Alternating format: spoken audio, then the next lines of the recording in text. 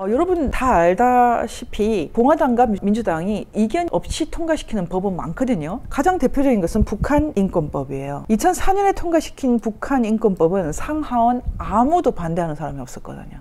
홍콩 인권법도 사실은 상원은 적어도 하원에 한명 정도 빼고는 모두 하나된 목소리였어요. 상하원이 같습니다. 지금 낸시 펠로시라는 사람은 그 자체로는 상당히 의문이 많이 가는 사람이에요.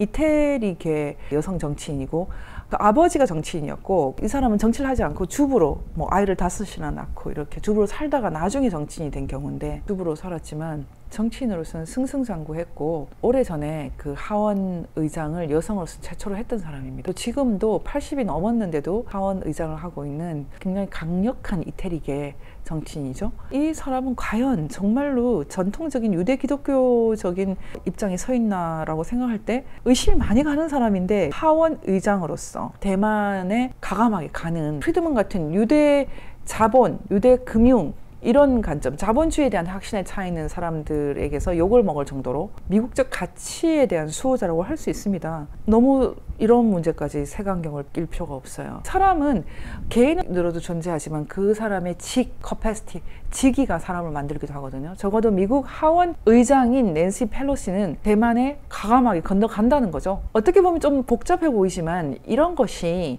공적인 세계라고 할 수 있어요. 어떤 사람은 굉장히 사적이지만 어떤 옷을 입었을 때, 어떤 직위를 입었을 때 사적인 개인을 가리게 되죠. 펠로시가 현재 미국 민주당 하원 의장으로서는 유대 기독교적인 관점에 입각해 있다. 라고 말할 수 있습니다. 그런데 공화당 반 트럼프 입장은 왜 공화당 친 트럼프 입장에 대해서 그렇게 무섭게 싸웠나? 미국의 10명에 가까운 국방부 장관이 모두 트럼프를 배격하려고 했냐? 그것은 트럼프의 급진주의에 대한 반론이었죠. 트럼프의 근본주의적으로 보이는 트럼프 정부가 갖고 있는 unalienable right이라는 이 천부 인권이 사실은 민주당과 협치를 하는데 방해가 됐기 때문에 상당히 위험하게 본 거죠. 실제로 저희는 트럼프나 트럼프와 함께 했던 뭐 펜스, 폼페이오 뭐 이 등등의 사람들이 그렇게 위험하지 않고 오히려 상당히 잘못 가 있는 미국의 유대 기독교적 정치 환경, 정치 전통을 좀 복원시킬 수 있다 이렇게 봤는데 이 의견은 공화당 뭐 매파라고도 하고 어 establishment 공화당의 기득권이라고 하는 사람들이 어 일치하지 않았죠. 지금 많은 사람들이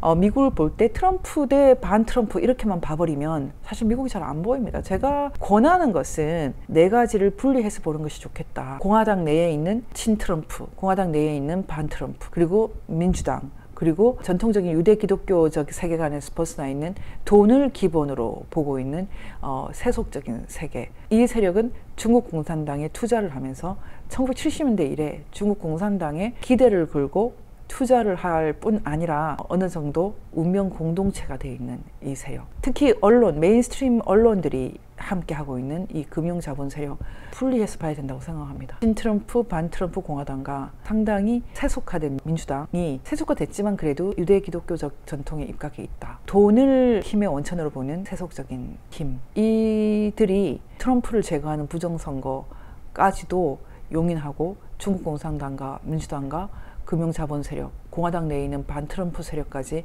모두 심지어 탄핵이든 부정선거든 할 수 있는 모든 수단을 강구해서 트럼프를 제거하려고 했다. 이런 생각에 제가 동의를 하지만 그래도 우리가 지금 미국이라는 나라에 대해서 그 이해를 할 때는 숨을 고르고 총체적인 시각이 필요합니다. 그것은 트럼프 자신이 선택했죠. 트럼프가 바이든을 향해서 너 정말 정당하게 당선된 건 맞냐? 라고 말했지만 그렇다고 트럼프가 폭력적이거나 상당히 도발적인 프로바커티브한 그런 방식으로 접근하는 것이 아니라 다음 선거를 준비하는 방식으로 대항하고 있지 않습니까? 이런 게 또 미국의 특징이거든요. 지금 그렇게 본다면 이 관점에서 본다면 우리는 어디에 있습니까? 여러분은 정말 많은 질서가 무너지고 있는 이 세상 한가운데에서 우리는 하나님 주신 그 천부 인권을 수호하고 그 관점에서 인간의 삶을 복원하려고 하는 관점 그런 관점이 뭐 꼰대로 보이고 너무 고리타분해 보이십니까? 이런 관점이 웃어 보이지만 여전히 아주 강력한 힘이고요. 그것은 미국도 그렇고 한국도 그렇습니다. 이 세력이 지금 굉장히 무시당하고 있고 한국 내에서도 탄핵 이후에 상당히 위협받고 있는데 여전히 이것이 기본입니다. 이렇게 되면 이제 한국은 어디에 서 있어야 되느냐. 윤석열 외교 여러분 어떻게 보십니까? 북한에 대해서는 자유민주주의를 수호하고 한미동맹을 수호해야 되기 때문에 기본적으로는 펠로시나 공화당을 무시할 수가 없죠. 미국 의회를 절대 무시할 수가 없습니다. 유대 기독교적인 가치를 근간으로 하고 있는 미국 의회를 무시할 수가 없어요. 그런데 한편으로는 지금 한율 위기라든지 뭐 여러 가지 금융 위기 앞에서 돈을 가진 세력을 무시할 수가 없어요. 힘을 가진 권력을 가진 세력이나 돈을 가진 세력이나 두렵죠. 이 양자 를 다 조율하면서 줄타기를 하면서 우리의 이익을 가져오기 위해서는 어떻게 해야 됩니까? 제일 필요한 것은 가장 중요한 것을 정하는 것입니다. priority. 가장 핵심이 무엇인가? 여러분은 무엇이 가장 핵심이라고 생각합니까? 북한에 대해서 우, 우리를 정신적으로, 영적으로 더 우위에 있다고 말해주는 것. 그것은 바로 자유와 인권과 가족. 사람과 사람이 서로 아끼고 사랑하는 것. 이 가치 세계입니다. 이 가치 세계를 다 던져버리고 해결할 수 있는 경제 문제는 없어요. 이런 대원칙을 윤석열 대통령이 갖고 있을 만큼 정신적으로 수준이 높은 인물인가. 대통령께는 좀 죄송하지만 저는 그렇게 안 보이네요. 저는 그래서 개인적으로는 윤석열 대통령에게 기대를 하지 않고 있어요. 윤석열 대통령이 아, 정말 남다르다라고 제가 생각할 수 있는 길은 딱 하나 있습니다. 이 천부 인권의 세계, 이 가치 세계에 정점에 있는 선거 제도를 지키는 것이죠. 부정선거 문제를 해결하는 것입니다. 돈으로 권력을 사고 있는 이재명을 정확하게 꺾는 것입니다. 윤석열 대통령이 이거 두 가지 할 수 있을까요? 믿음이 안 갑니다. 저는 그래서 지금은 하늘을 바라보고 있죠. 그동안 이제 많은 일들이 일어나고 있어요. 하나의 중국, 원 차이나 팔러시. 트럼프나 바이든이나 이 정책을 부인하지 않습니다. 왜냐하면 이 정책을 부인하면 너무나 급진적으로 세계가 변화를 일으키기 때문에 중국과 미국이 전쟁 모드로 가기 때문에 이 개념을 수용하지 않습니다. 하지만 중국이 점진적으로 일대일로가 아니라 자유를 향해서 나아가도록 미국이 유도하는 것은 계속 할 것입니다. 그 중에 하나가 경제에 탈을 쓰고 있지만 치포라는 것은 미국 주도로 한국, 일본, 대만 4개국이 중국을 배제하고 안정적인 반도체 생산 공급망 형성을 목표로 추진 중인 동맹으로 사실은 안보 동맹이기도 합니다. 결국은 이 치포는 커드의 완성입니다. 인도 태평양 지역의 핵심 동맹국인 일본, 인도, 호주, 그리고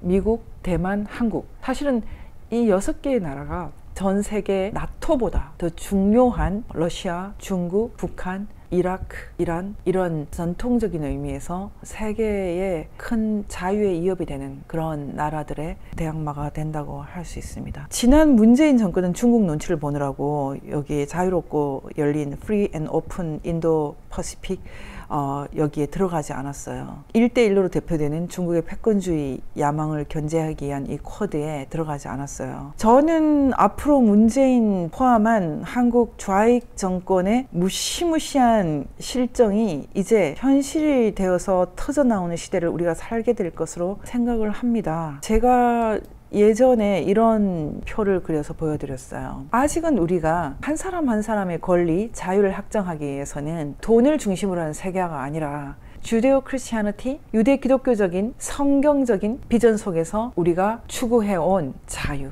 종교와 신앙과 언론과 배고픔으로부터 공포로부터의 자유, 세계 인권 선언이 정립을 했던 자유들의 세계, 이 유대 기독교적인 세계, 이 세계를 수호하는 것이 사실은 진정한 의미에서 앞으로 우리가 흔들리지 않고 나아갈 수 있는 길이다. 낸시 펠로시처럼 트럼프에 대항하면서 마치 이 세상에 악한 사람들 한가운데 있는 것처럼 보였던 펠로시조차도 대만에 가서 우리가 원하는 것은 자유로운 나라다라고 했던 것처럼 이런 구도가 있는 것입니다. 이 모든 것을 다 우리가 쉽게 이해하는 방법은 없겠지만 저 같은 사람에게는 이해하는 방법은 쉽습니다. 먹고 사는 문제, 돈이 키워드가 되는 문제가 이 세상에서 가장 중요해 보이지만 더 secular 이 세속이 세계의 진정한 통치 세계로 보이지만 그것은 Holy Spirit 이 세상을 사랑하는 거대한 섭리적인 창조주의 원리 속에 포함되어 있을 뿐이다. secular가 하나님의 세계에 포함되어 있을 뿐이다. 이런 관점입니다. 이 예수 밖에는 다른 아무에게도 구원이 없습니다. 사람들에게 주신 이름 가운데 우리가 의지하여